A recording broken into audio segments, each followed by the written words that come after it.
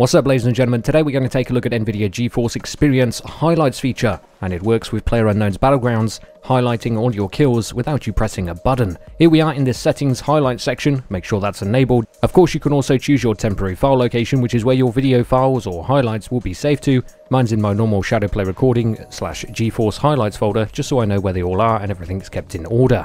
Once you've done that, go in game, and you've got one more setting to change.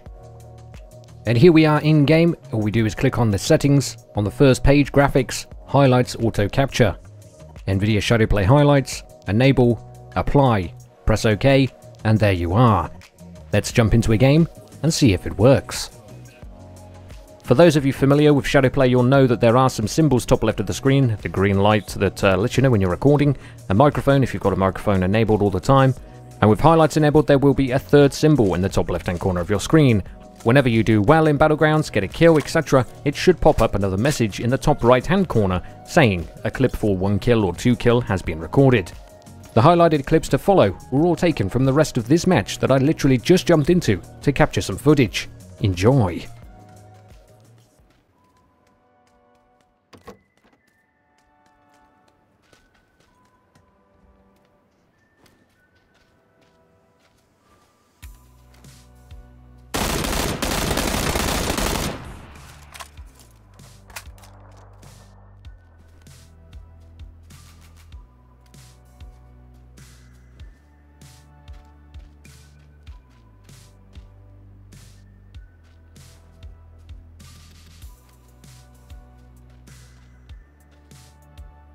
Ugh!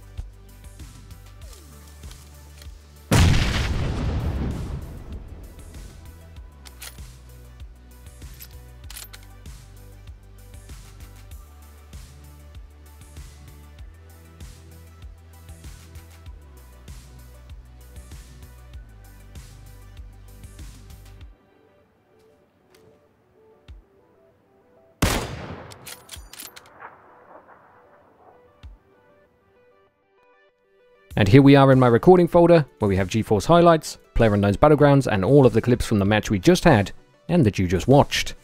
So get making those montages, and there's no excuse really to miss any recorded plays in uh, in Battlegrounds now with the highlights feature. Really handy, get all those kills, multi-kills, whatever they might be, and wins.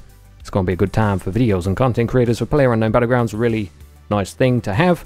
Hopefully it comes to other games, maybe DayZ, because God knows I always forget to record on DayZ. I hope some of you can find this useful to you. Thank you for watching, remember to leave a like, and I'll see you peeps next time.